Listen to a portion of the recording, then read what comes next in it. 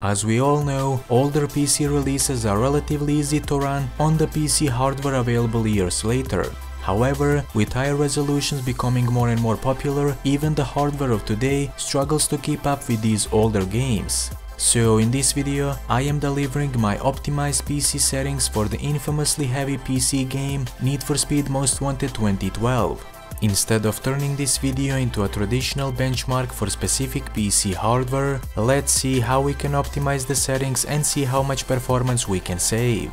Before we proceed with the optimization process, uh, download and install uh, LowSpecs Experience.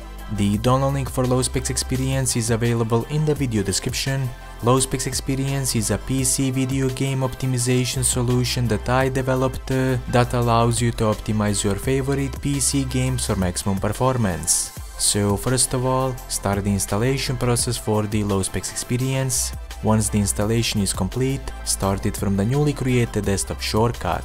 Now uh, select the optimization catalog, select the applicable digital platform and then uh, select uh, Need for Speed Most Wanted 2012 from this drop down menu. Once done, uh, press the Load the Optimization package. A low specs experience will automatically detect a supported game version on your system. Now press OK and the optimization control panel will load. Once the optimization control panel has loaded, select the desired optimization presets and the rendering resolution for the game. Feel free to experiment with the optimization presets and rendering resolution to see what works best for your system.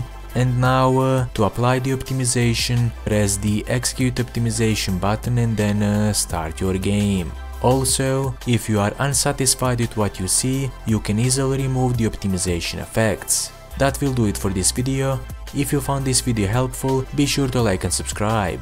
Until next time, happy gaming! Thank you.